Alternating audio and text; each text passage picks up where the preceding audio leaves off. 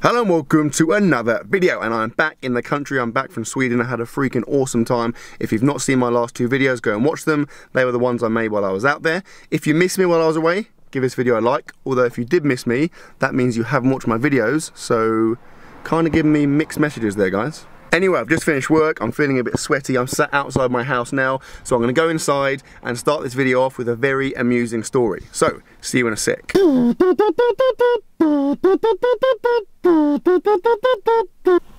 I thought the the graphic, the intro graphic was going to like come on when I...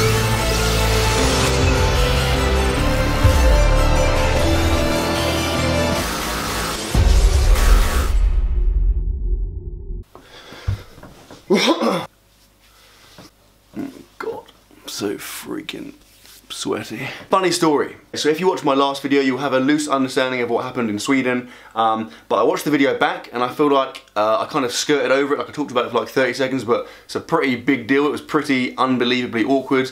Um, and so I feel like I owe you a full explanation. Um, and so here we go. I'm gonna give you some full disclosure. What happened in Sweden. So, um, in short, to uh, summarize, I fell in a lake. Like literally, I fell in a lake. Like I'm not exaggerating. Um, I was stood on the edge of a lake holding Luca, trying to be like funny and cute and like let him be inquisitive. And then my foot started sliding um, and it took like a good 30 seconds, but I basically gradually just slid. If here's the land and here's the water, I just gradually slid like this until I was almost completely submerged. Luckily, Sayers' auntie was there to take Luca off my hands. Everyone else just kind of sat there and watched. I think they were kind of more in amazement. Like Sayers keeps saying, like, why didn't you shout for help? But I don't know. Firstly, I didn't really it didn't seem too too much of like a panic-stricken situation and plus I feel like an, as an adult man shouting help is a bit like of a weird thing to do so I kind of just took it like a man just slowly slid into the lake I kind of handed off palmed off Luca and then just kept going until I was literally, the water was up to here, right? So at that point I was kind of annoyed, but I also found it quite funny. Everyone was laughing at me. It wasn't until Sarah said, um, have you got your phone and camera in your pockets that I suddenly thought, crap, and the situation went from really funny to me to being like, oh my god, this is a disaster. So basically, yeah, my phone and my camera were in my pockets. When I, when I realised that, I couldn't just jump out of the water because it was like super slippery. So I kind of climbed out over the, over the course of about a minute um, using like Sayers' foot, I think, for some kind of purchase. Um, I took all the battery and stuff out of the camera and the phone. I followed all the stuff he meant to do, like kind of shook him off and whatever. Got back, uh, dried him out a bit, left him in rice overnight. Um, I felt quite optimistic about it, like, I don't know why, I just did. Um, and I think in the video I said to you that, because obviously I had to film the last half of that video um, with Sayers' camera, which wasn't ideal, I apologise for that by the way, but it wasn't too bad to be fair. Um, but yeah, next morning I got up, uh, kind of excited to find out what the, uh, the damage was. Uh, turn the phone on, phone is absolutely fine, like it literally functions fine, like it hasn't been damaged in any way, which is an absolute result. Camera, however, is a complete write-off. Like it looks fine. Uh, basically, I turned it on um, and the kind of lens came out for like a second then went straight back in and made like a weird kind of crackling noise and that's it game over. So I'm probably gonna like maybe take it to a camera shop out of interest and see if it's kind of it can, if it can be repaired but basically uh, long story short I need a new camera. I've been planning to get a new camera uh, for quite a while now and obviously this is not a good thing but like it's kind of a good thing in a way because it's kind of forced me into getting that. Like I probably would have put it off for a while so now I had no choice. So I've done it. I've gone out and got a new camera. I went for a Canon 80D so uh, I did a lot of research, um, I watched a lot of YouTube videos, I spoke to a lot of other YouTubers, um, just watched yeah, loads of reviews, read loads of reviews, um, and basically in the end I narrowed it down to a Sony uh, A6300 and a Canon 80D. Um, obviously I know the Sony is slightly higher quality and films in, in higher frames per second, but the, what kind of did it for me in the end was the Canon having the flip screen. Like I, at first I thought it would be alright, but like my videos are very kind of, they're, they are, they're all vlogs, you know, and a lot of it is me holding the camera and talking to the camera, you know, and I think that as much as I'm sure you could get used to it after a while, I just feel like it would be really irritating not having, not be able to see what you're filming. Um, yeah, so that's what swung it for me. Plus the other thing that swung it for me is that watching a lot of Casey uh, Neistat stuff, that's like his dream setup is, is a Canon 80D with the, the, the Gorilla Pod, etc. And I figure if it's good enough for Casey, it's good enough for me. Yeah, and that's basically the reasoning behind the thumbnail and the title. Like, I'm not exaggerating. The whole setup in total has cost me, I think, like £1,300. Basically, I went for the Canon 80D. I got a, a wider angled lens. I got the uh, 10 to 18 mil one. I went for a Rode mic and then I also went for the uh, Joby Gorilla Pod.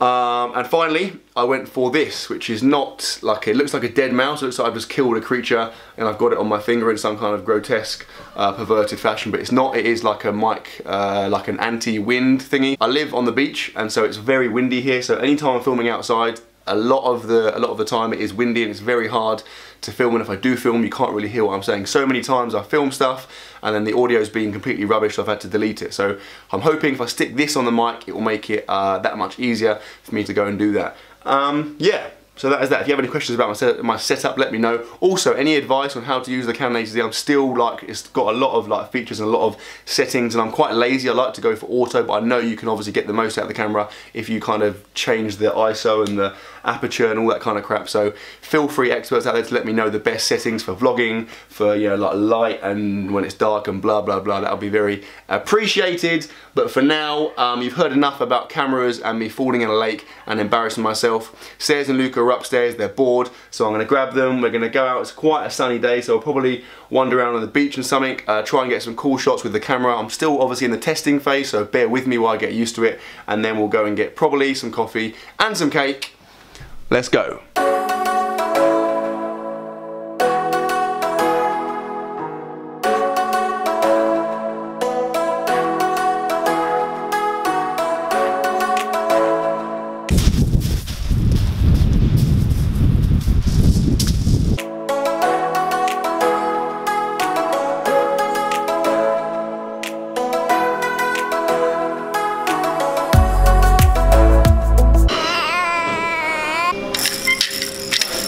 Right, I've gone to a place called Follies, it's just opened up on the high street. There's one of them like about 15 minutes from us. We've been there a few times before. It's like a predominantly a pizza place, so you've probably seen me have pizza from there quite a few times. It's freaking awesome. So we thought we'd come here. Obviously it's a bit early for pizza, but I went for this salted caramel chocolate cake, which looks freaking awesome. And then a latte. Sayers got you like a lemon drizzle cake. Like a lemon drizzle cake, which looks, to be fair, I was kind of torn between these two options. Uh, cappuccino, and then Luca got this weird like spinning plastic thing and a rice cake. He is uh, cutting for a show. Anyway, um, I'm excited.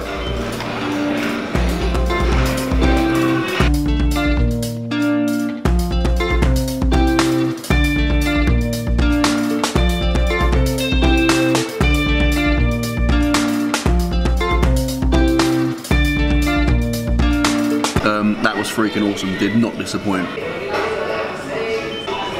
We are now wandering the high street, um, doing exciting things that you do when you have a baby, like get medicine from Boots. Woo!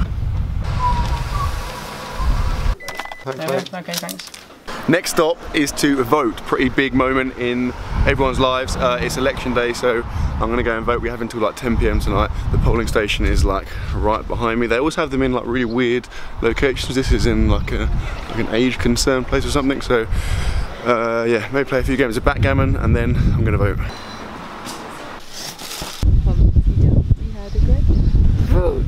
Well, that was an absolute joke. Tried to vote for myself, wasn't even on the list of candidates. What is that about? Okay, I'm back home. That noise you can probably hear is and Luca in the shower. Luca friggin' loves the shower. He's at the point now where he just like dives in the shower and like splashes and goes nuts. It's really cute watching him. Also, on the topic of Luca, look at these friggin' pictures. How cute are these? So going, dude. We're gonna like cover this whole wall with pictures Luca who's got so many super cute ones. Anyway, um, uh, yeah, so the plan now, I need to quickly continue with Project Delts. If you don't know what Project Delts is, watch more of my videos. So I'm gonna go and do that in a second. Uh, in a bit, it says his dad is coming round with some stuff for dinner because he is a hero. Um, he's got, I believe it's red Thai curry. So I'm gonna go and uh, continue with Project Delts and then catch up with you after that.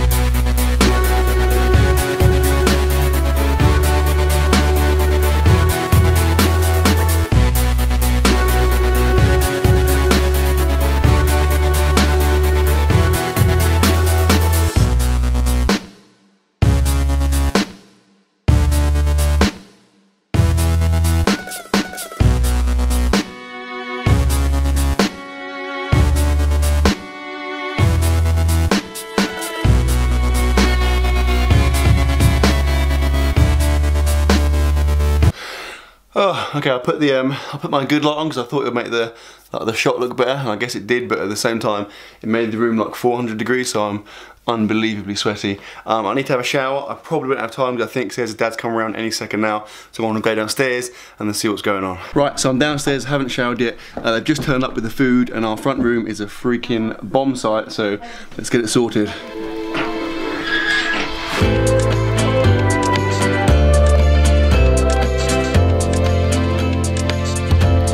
We are set. So, as promised, this is a red Thai curry and it looks pretty sweet. Still blurred, not proper focus. This is absolutely revolting. I meant to see a shot of Andrew's face in disgust. Psych! It's absolutely delicious. The best red curry I've had in the last 24 hours for sure. Curry is done, we're on to dessert. Got some medium, your rat bag. Okay, I have some protein, I have a double decker, and in case you're unaware, that is pretty much the perfect muscle building combination. I'm joking, don't go and eat loads of double deckers because you'll just get fat. But to be honest, if you are unaware of the fact I was joking, probably stop watching my video now and go and like read a book or something. Um, right, I think the video is quite long. I haven't fully edited it yet, but it's already like pretty long, so I'm gonna wind it up here, guys. Um, Says, what do you think of the new vlogging setup? Good, in inconspicuous. Yeah, yeah, it's quite. You know, like so, walking around town and stuff. That is true. Like, I'll, I'll, be honest, it is uh, it is a whole new ball game. I'm having to adapt like my life a bit because whereas before I had the G7X, a nice kind of small that I could put in my pocket, I could just inconspicuously get out and film around. Now this thing's freaking massive, so you I'll get kick, it out. You kicked Luca out the car seat so you could strap this bad yeah, in. Yeah, yeah. Uh, it's like I have like a massive sign on my head saying I'm a YouTuber. It's friggin' huge and conspicuous, but hopefully it's way better. So I guess it's worth it. Anyway, I sincerely hope you enjoyed the video, guys. If you have enjoyed it please give it a thumbs up, and I will see you tomorrow.